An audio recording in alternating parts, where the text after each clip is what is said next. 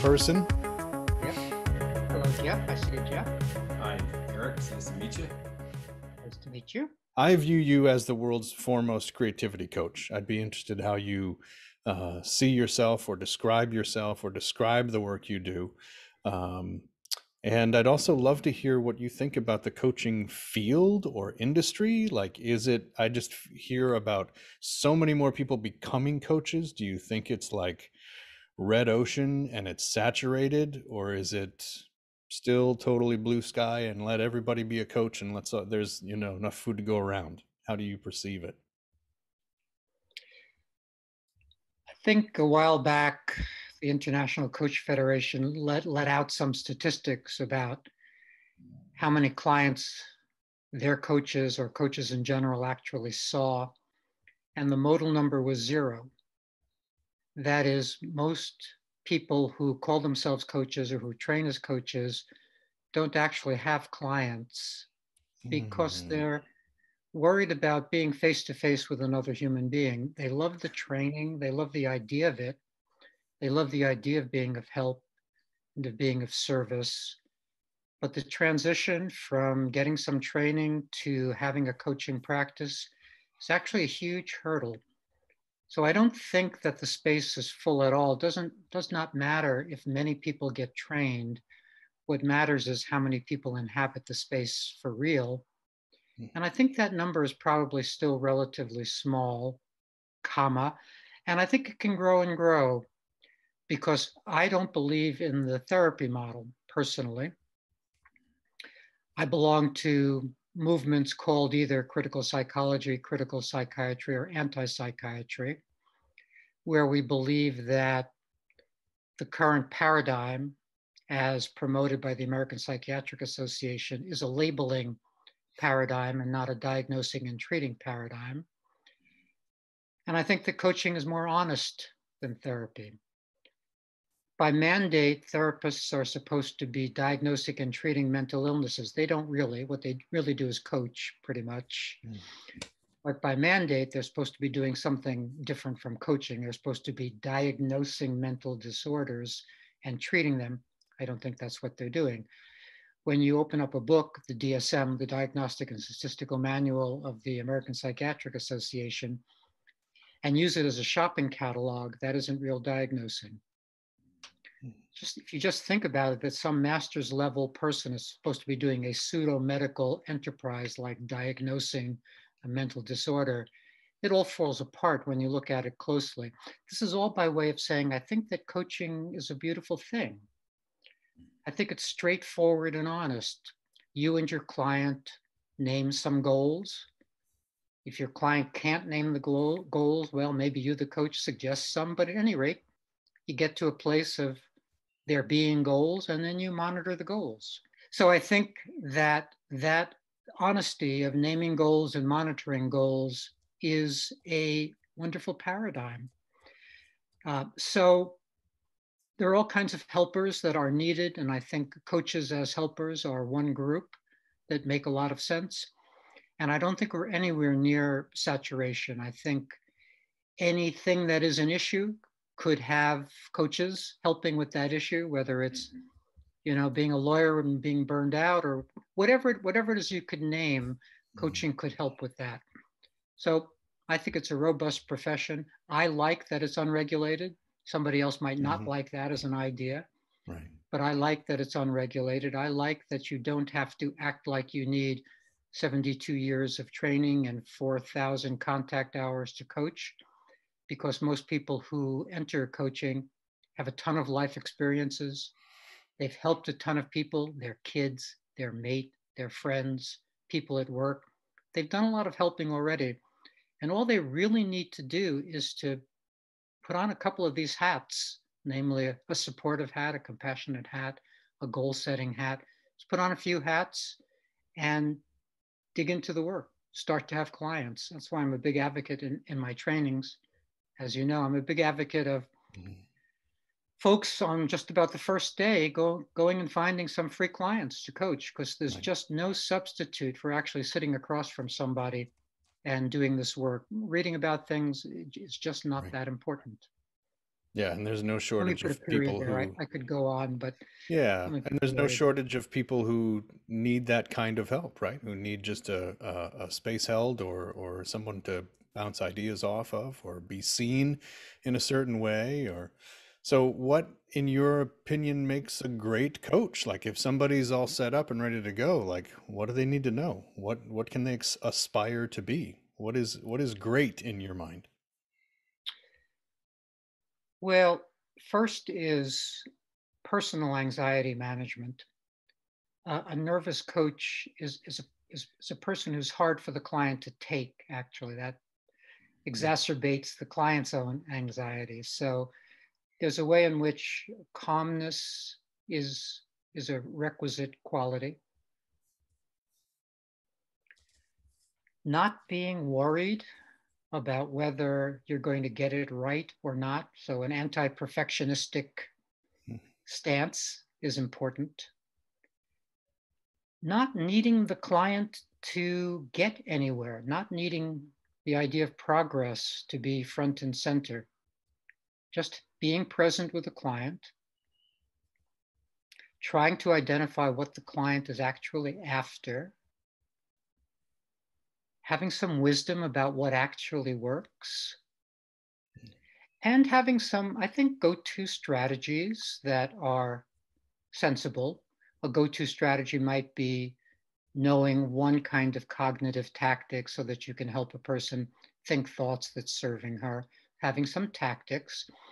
I don't know if there's any one thing. I, I think it's what that Supreme Court justice said about uh, pornography. I think you know it when you see it. Mm, hmm I think Yep. you, you know a good coaching session or a good coach when, when you see that coach in operation. I think it is a lot about confidence, though. And I think that's the same thing that matters when it comes to actually wanting clients. You have to have a certain kind of fearlessness being in the presence of another person. Same with therapy. A good therapist, there have been a zillion outcome studies with respect to therapy. And it always comes down to not the therapist's theoretical orientation or anything you might think of. It's all relational. It's the, it's the therapist's warmth. That's what helps the client is the therapist's warmth, being a human being. So I think that's probably quite true for coaching also, just being a human being, being there for another person, not needing any theories, not really needing too many tactics or strategies, but just being willing to be present. Where might where might a coach go to learn some of these things, to fill their toolbox with these things? I, I, want to say Paris just because I want to go somewhere.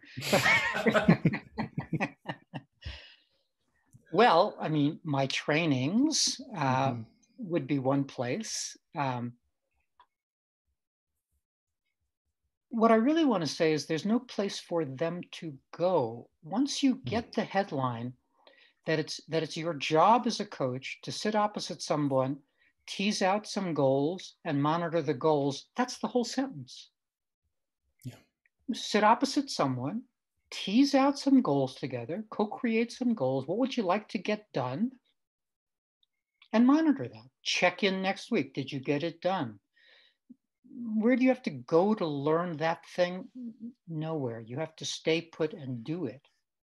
So there are tons of coaching books. I think my creativity coaching trainings are good. I'm, I'm sure other trainings are good. There are interesting existential coaching academies and this, that. And I'm sure there are lots of interesting places to go, but too many people take too many workshops and trainings Mm. as a way to never sit opposite another human being. So I guess my short response to your question, where should they go? Nowhere. They should stay put. Love it. I, I lead a coaching group now. Um, a lot of about a hundred or so um, coaches who are uh, most of them shifting from uh, one-to-one therapy um, model to um, group coaching practice, and the subject has come up: uh, what what qualifies me to be a coach? And I've said it a couple times now to this group that there's I don't need to have been a CEO or a rock star or a whatever, right? Or an author or whatever to coach people who are trying to run businesses or show up charismatically or do the work, right? All I need to do right. is sit with them and just see into the center of them and, and, and believe in their ultimate potential, have a white hot belief in human yep. potential. Yep. That's a belief and I have. Language. And have language that you acquire over time that that works in those situations. For instance, one bit of language that a coach needs in dealing with a person whose universe he or she doesn't understand is how does that work in your world? Hmm. I don't need to know if if if right. you're about to give a, a, summation to a jury and and your question is how do I make an excellent summation? My response would be how does that work in your world? What do you need to do to make an excellent summation? Is it extra rehearsing? Is it you know what is it? You tell me yeah. I send clients out. To, uh, this is very different from the therapy model. I send clients out to do the work, whatever the work is. And I don't know what the work is. I mean, we can get that work named. Typically, we can get that mm. work named. And I do know that they're not going to get to the work unless they do it pretty regularly. That's why mm. I have a new book out on the power of daily practice, why I sell clients on the idea of daily practice yeah. whatever it is that's important to them, if they don't do it in a daily way, they probably won't do it. Yeah. It's how human beings operate. If you want to try to write your novel every 17th day, you're not going to get your novel written. Right. So, in addition to this belief in human potential, are there other beliefs that great coaches should have?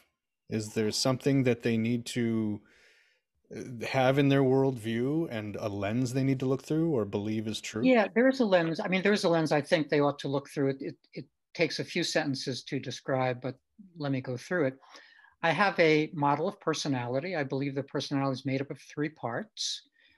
First part is original personality. That's how we come into the world. And psychology pays no attention to original psychology, uh, into about pays no attention to original personality, takes it into account not at all.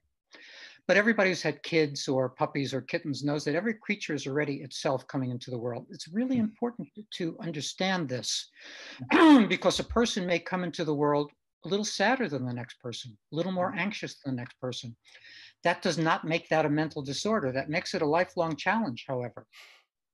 So that's important to realize that people may come into the world with lifelong challenges like sensitivity or intelligence I think intelligence is its own challenge. That's why I did a whole book on what's it called? Um, why smart people hurt. Mm-hmm. So there's original personality. Then there's what I call formed personality, and that's that's the way we sort of cement ourselves over time into our recognizable self. It's the way we repeat ourselves and do things without thinking and what have you. And then the third part is what I call available personality. That's our remaining freedom to become the person we want to become. Mm. And I think that simple model is very robust because it speaks to original stuff and it speaks to how, how sticky and stuck we get, the formed personality part, but it also speaks to the fact that we can make change, that we, that we are a different person. We have more available personality the day after we move from addiction to recovery. That day has changed our whole personality, giving us more available personality. It doesn't mean we, we don't still have a formed personality, and it doesn't mean that our original personality may not be contributing to our addictive tendencies. What it means, though, is that, that we, we have done something profound and brilliant by entering into recovery. So I do think that a coach needs some sense, some personal sense of the relationship between stuckness, which is real, and change, which is real, how that works, including how the sm- how planting seeds matters. That we may say something together now that you get a year and a half from now. I'm not going to know that. I'm not going to I'm not going to know that you learned something from me today that you made use of 13 years from now. I'm never going to know that, but I'm confident that that may happen. Mm-hmm. That's why I don't need a lot to happen in a session a lot of new coaches need stuff to happen in a session. I don't feel like anything happened in the session. You don't know but something didn't happen. You may have planted just the right seed. If the client Mm-hmm. is okay, then you should be okay. You shouldn't have a different expectation like, oh, I, I- I needed I needed the client to write her whole novel in those 30 minutes somehow, and she didn't, and she only wrote seven words, and oh my God, I'm a bad coach, etc. Mhm. I wonder too, uh, it, it, it, as related to what we all just, well, we're still going through, which is this worldwide pandemic. And I, I'm going back to the very beginning of this. And I remember there was this just brief glint, hope of optimism that this would be just a brief, short, temporary thing. We're all just going to have to kind of go inside for a while. And hey, this will be a great time to finish that book I'm writing or write, record that album I've been meaning to write, all of this stuff. And then we got into the shit, right? And we got into the the real pandemic and really what was required of us. Uh, maybe just speaking for myself and realized, well, this isn't a time to be creative. This is like there's other work I have to do now, right? I'm focusing on taking care of my family and there's inner work that I'm I need to be doing and I didn't realize I needed to do it until I put this other thing down and now I'm focusing on this. What can you say about what the pandemic has done to the creative process? Have you learned anything about it? Has it changed the way you think about creativity? And what might we learn? It hasn't changed the way I think, but I know that there are more disappointed creative performing artists than ever before. Yeah. That that, that speaks directly to what you were just saying. Right. They thought they got some extra free time, that this was somehow going to be something like an opportunity, and they're not doing their work. And so they're more disappointed than ever and more in need of coaching than ever. Yeah. It, it has turned out in these center not holding times that the very idea of daily practice is more important than ever because that's anchoring. If you, um, I'll say a few consecutive sentences here. If you start your day organizing your day around your life purposes in the plural, so I don't believe there's a purpose to life. I believe there are Mhm. life purpose choices. There are the things we decide are important. We make those decisions. If you spend a minute first thing in the day saying, okay, here's my menu of life purposes, here's my list. What can I get to today? That's anchoring. Rather than being pulled around by the nose by our perpetual to do list, that's a different way of starting the day to say, okay, here are the seven things that are important to me relationships, activism, career, mm, service, creativity, whatever they are. Now I'm going to get to them, or I'm going to get to as many as I can. So I'm going to have multiple daily practices. I'm going to live a more organized life than I actually like. I would like to be that disorganized, chaotic teenager, but I know that doesn't work for me. I can't be that person who gets up in the two in the afternoon anymore, even though I wish I could be that person. Now I've got to get up at 5 a.m., which I do, hmm. and get and do the things that are important, live my life purposes. And so this is actually an opportunity to move from the way most people operate, which is organizing their day around their responsibilities, errands, duties, to-do list, and making the shift to organizing your life around your life purposes. And if you do that, A, you make yourself proud by your efforts. It reduces your, so to speak, depression, it reduces your despair, makes life more meaningful. If you get to meaningful things on each day, life is more meaningful, sort of by definition. If you're doing meaningful things each day, life is more meaningful, etc. So, so long-winded answer to the how are creative folks doing during this time? They're having a rough time, but it is also an opportunity to make this, I think, important switch from just trying to get things done to moving from that way of being to a new level of devotion to their Mm. life purposes. Let me just say parenthetically, Pavarotti had a quote I like, which is people say I'm disciplined and it's not discipline, it's devotion, and there's a big Mhm. difference. And I think creative folks often think that they're not disciplined enough, but that isn't what's going on. They're actually not devoted enough. They're not in love enough with their own projects. They have trouble considering that what they're doing matters.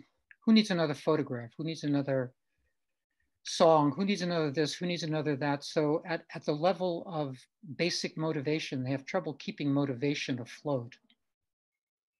The pandemic has not helped with that either. We've seen through to the void even more clearly, and it's hard to make sense of anything really mattering. So that's all by way of saying this is an existential extremity. And one of the answers to existential extremities is to settle down and have a serious conversation with yourself that you matter.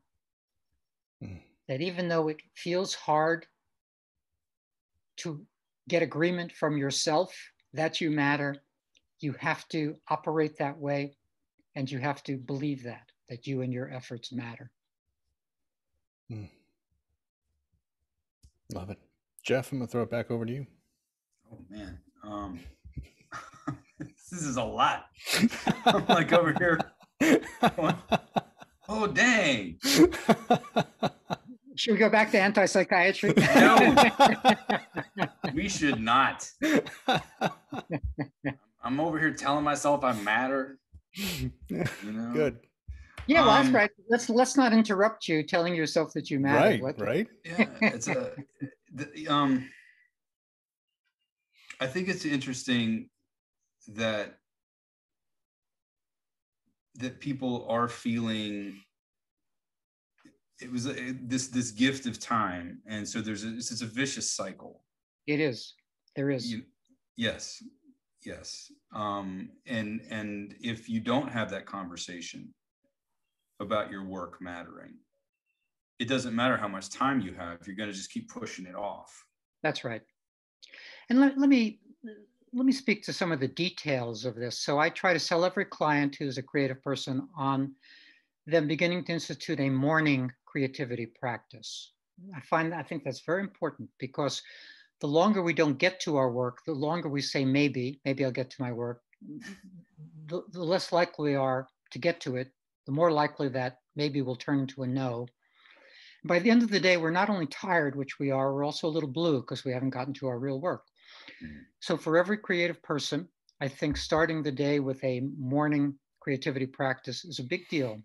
On a practical level, on a coaching level, on a tactical level, that's what you want to sell your clients on. Do this. mm. and I'm very big on saying, do this. And so there are three reasons for to be a morning creativity practice. One is what I just said, you know, to try to do it the other way around is too hard. Most people can't do it at the end of the day. Second is that you get to make use of your sleep thinking. By turning to your creative life first thing, you get to use what your brain's been working on through the night. We think while we sleep. Everybody knows we dream. Most people don't know we also think. We dream in REM sleep, we think in non REM sleep, and creative folks are thinking all the time during the night. But when they turn to the new day, they lose all that good thinking. Whatever they were thinking about, it evaporates in, hmm. in, in the whirlwind of a new day. But if you start your day working on your novel or working on your song collection or working on your painting or working on whatever, you get to make use of whatever your brain, brain has been thinking about during the night. And that's a big deal thing, especially if you go to bed the night before with a what I call a sleep thinking prompt, a wonder. Like, I hmm. wonder what Mary wants to say to John in chapter three. If you go to bed with that kind of wonder, your brain will work on the conversation between Mary and John, and, and you can then just wake up and take dictation, which is a big deal. You've just added an hour or two to your creative life for free by mm-hmm. turning to your creative work first thing. That's a big deal. So A, you'd get a lot done. B, you'd get to make use of your sleep thinking. And C, you'd have the experience of having made some meaning on that day already. And the rest of the day can be half meaningless and you won't get depressed. it's a it's a meaning capital, meaning capital work, building mm-hmm. meaning, meaning reservoir for the day. Mm-hmm. And so Joran, you were saying, you know, what do you say to a to a depressed person different from take a pill? This is one of those things you say, which is if you get to some real, try getting to some real work first thing and see if that makes a difference in your mood. It will. It will if they get to it. If they keep avoiding it, that's not going to help their mood so much. That's why we monitor. Mm-hmm. That's why we that's why we wonder aloud to clients. I hmm. have clients, if they're willing, check in with me every day via email as to whether they did their daily work. And all they need to say is, I worked. That, that's a complete email. Mm-hmm. And my complete response is great. Mm-hmm. We have these huge interchanges. I worked mm-hmm. great. Mm-hmm. but it's important to monitor as a coach, not just have done some great work to set something up. And it can be a little scary to monitor, right? Because mm-hmm. it, it, can be a little nerve wracking to actually get in somebody's face and say, did you, did you seven days a week? Did you work on your novel seven days a week this week? What's the client going to say? No. Right. Mm-hmm. The clients, we, we have a lot of confessing clients, right? We have a lot of clients are going to have to confess that they didn't get to whatever they said they were going to get to. And we need to know how to deal with that. We need to, need to know how to be gentle there. Yes, of course you didn't get to it seven days, but I love it that you got to it for three days Mm-hmm. And let's see if next week we can ramp that up to four days. We have to find our way of being there with a person so that we celebrate what they did get done and continue to hold their feet to the fire. I, th- I think you're you're I think you're on the edge of answering this question for me, but I yeah I heard you a minute ago say I find myself as a coach saying do this a lot, right? And for me, my coaching, like my worldview is that I do three things in a coaching session. I set boundaries. I talk about when the call begins, when the call is going to end.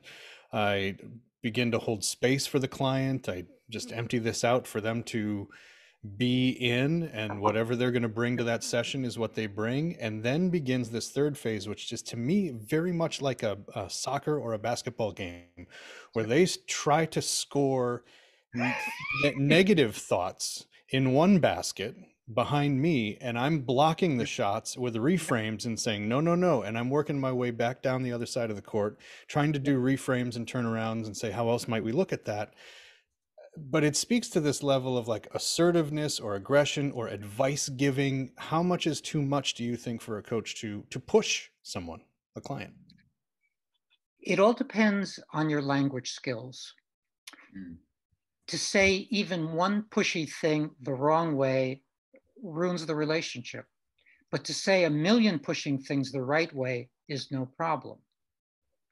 So this takes experience. So my languaging would be, I wonder if you might think about blah blah blah. Mm-hmm. Not do this. It mm-hmm. would never be do this. Right. One do this and you've set yourself up for the relationship ending. Mm. So that's there's there's a subtlety there because I'm saying do a lot of it, but do it well. mm. Doing it poorly is not good. And so what does that mean? You'll lose your first clients, won't you? Because you'll do it poorly for the first nine clients, won't you? Or the first 32 clients or whatever. Mm. So I, I'm just pausing there for effect because coaches like creatives don't want to engage in the real process. The real process is you're going to make mistakes. Whether you're writing a novel or working with first clients you're going to say a thing to, in a too pushy way or in a too assertive way or too authoritarian, authoritarian way. Yes you're going to do that.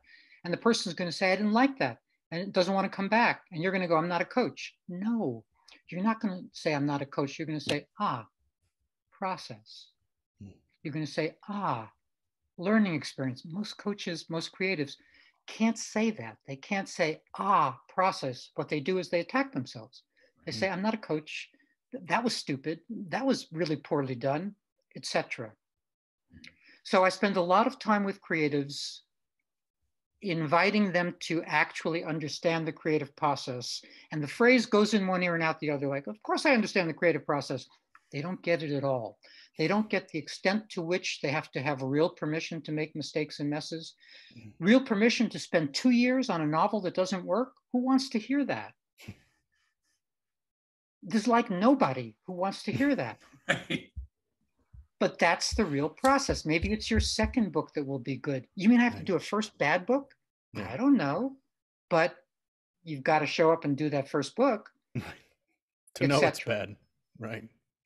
And I use I have lots of analogies and metaphors, and you know I'll go you know how many of Bob Dylan's three thousand songs are brilliant? Thirty. Well, that's like what is that? One tenth of a percent, etc. Or uh, Beethoven's first, third, fifth, seventh, and ninth symphonies are better than his second, fourth, sixth, and eighth. But you can't do nine without eight. You can't do eight without seven. It's all different ways of saying the same thing. You Mhm. can't avoid the process. And folks, creative folks really do want a guarantee. They're sitting there going, I'm not going to start this thing until I feel like I have a guarantee that it's going to work. Yeah. They will sit there a very long mm-hmm. time. Yes.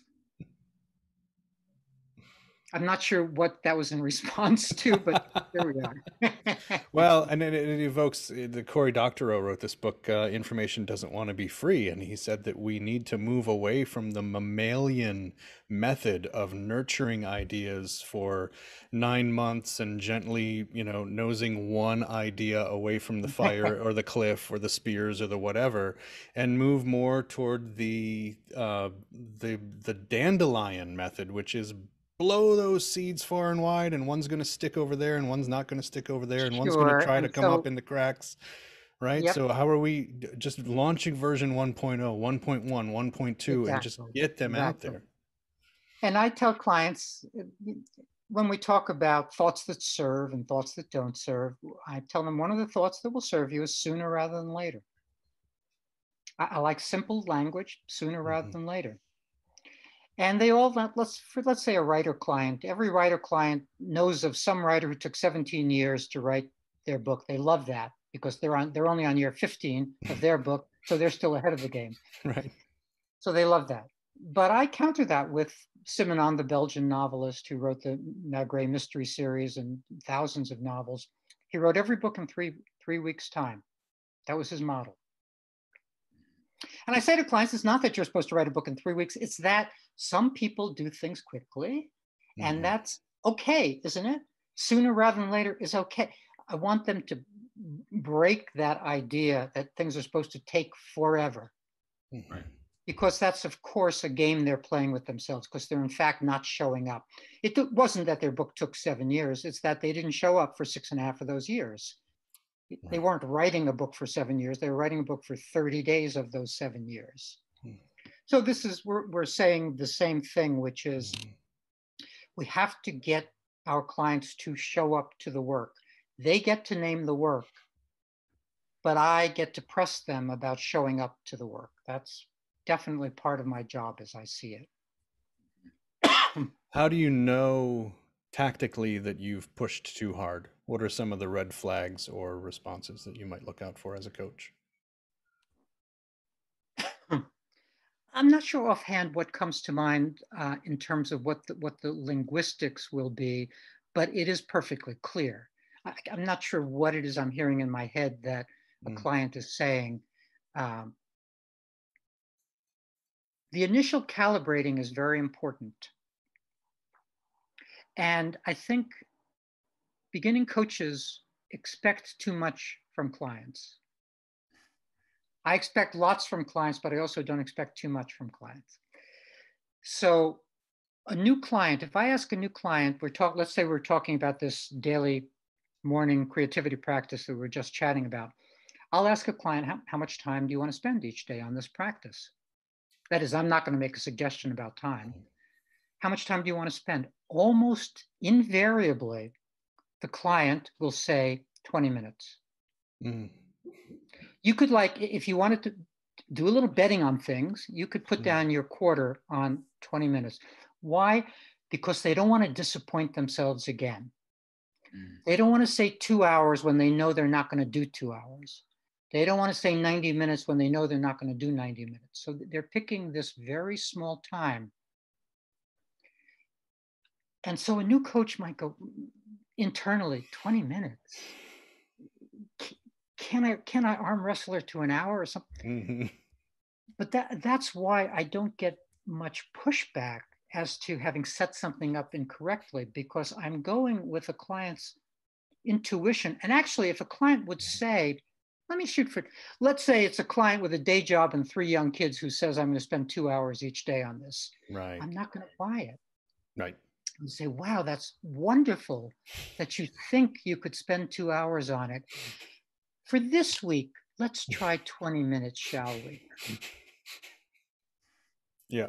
I'm going to massage, I'm going to dial that back because yeah. that's a setup for, for disappointment and failure. And now, you know, we, it's all about the hearing correctly. If there is this amazing person who can do her nine to five job and manage her three kids and get two hours in, and I hear that that's possible somehow. Maybe I hear it's possible because she's written 19 books before. Mm. Maybe I know she's a different person from a usual client who has not been that productive. Maybe she's super productive in that old cliche about, you know, give the busiest person in the office more mm-hmm. work mm-hmm. so that it'll get done. That may be that those two hours may be exactly what she means. So there's a lot of understanding and, and hearing correctly that a coach needs to do to know whether to dial a client back from two hours to 20 minutes or let that client go with the two hours because you have confidence that she can pull that off. Yeah. Yeah. So you would just cut right to it and not like what I hear. Well, I heard you say you were really busy. Is there a different time? You would just suggest, well, how about we just do 20? You would just suggest 20.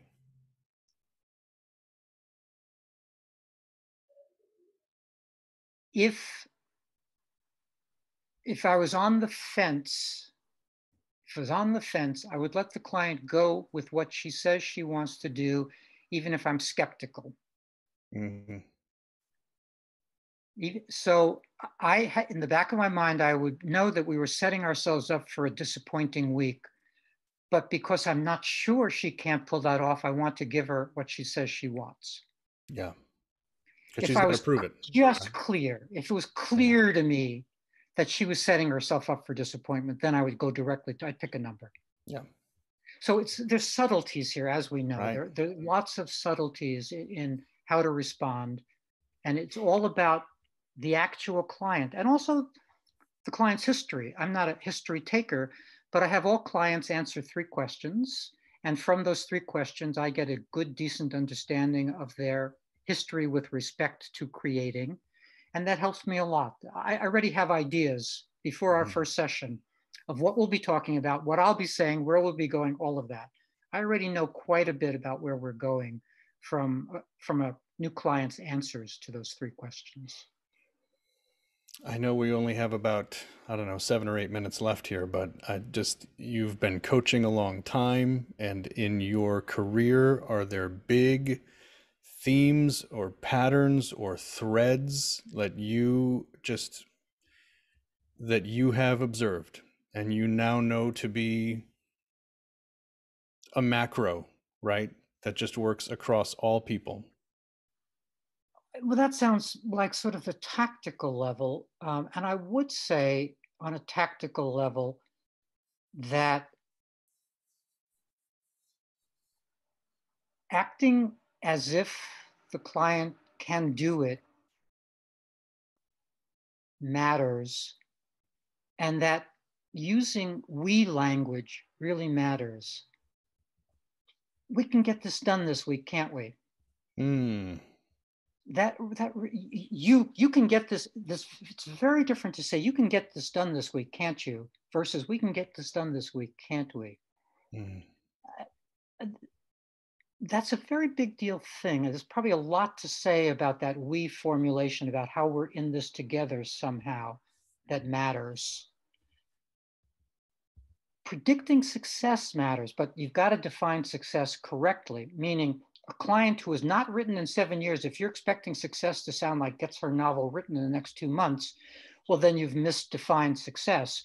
Mm-hmm. But if you get that client to be now doing couple of hundred words a day, four days a week. My gosh, that's so for me, I am predicting success with every client, including those clients who have never gotten the work done. Never. Have, mm-hmm. have always found a way to deflect themselves. Started a new career, started a new business, married for the fourth time, whatever. They've just managed to never sit down and write that novel. I'm not worried about that. So I'm not sure what I'm saying here exactly, except I have faith in people. Mm-hmm. And I think the reason I have that faith, especially around creativity, is I actually know how deep the love is. I know that the folks fell in love with books or films or music or what have you at the age of five or six or seven. And that was as deep a love as any love they're ever going to experience. That experience of sitting in a, in a corner of a room as a seven year old reading a book that was important to you is such a profound experience that you've always, there's some reservoir there of love that still is here today. It's been overlaid by all kinds of crap but it's still there and i can i can get you connected back up to that love of reading a book at seven so that you will make an effort to write your own book. Hmm. love it. Well eric ware thank you so much for uh, spending the time with us today. This has been amazing and uh, i appreciate you. Uh, i appreciate you showing up uh, to have this conversation with us where can people go to learn more about you and your work? To my site, ericmaisel.com, E R I C M A I S E L.com. They can also take a peek at recent books. Um, the most recent is called The Power of Daily Practice, which, of course, speaks to some of the things we just talked about. It describes the mm-hmm. elements of practice, varieties of practice, and also challenges to daily practice. It's a good book. Mm. And then I have a book coming out in a little while called Redesign Your Mind, which is an interesting book. It sort of moves cognitive therapy ahead, I think. Mm. And it makes it makes a distinction between thinking thoughts that serve and the source of those thoughts, actually changing our mind so that we begin to think thoughts that serve us. So that comes out in the fall, redesign your mind, and visiting my site is the place to go. And if and if there are coaches on the call, which presumably there are coaches on the call. Mm-hmm. I have a support group for coaches also. It's a free support group. And um, you drop me an email to ericmaisel at hotmail.com and I can tell you how to join that free support group. Awesome. And I want to put a plug in for both your affirmations for artists and also coaching the artist within. Those two were life changing for me. And I recommend them to anyone listening and affirmations for artists must be 30-ish years old so that's going way back. That's awesome. Eric it was so good to finally meet you in person. I know we've been communicating for years via email yep. uh, and uh, and uh, yeah it's been really really great to have this conversation with you today. Have an amazing rest of your friday and a great weekend. Great. Thanks for having me and yeah you bet. Talk to you soon. Great meeting you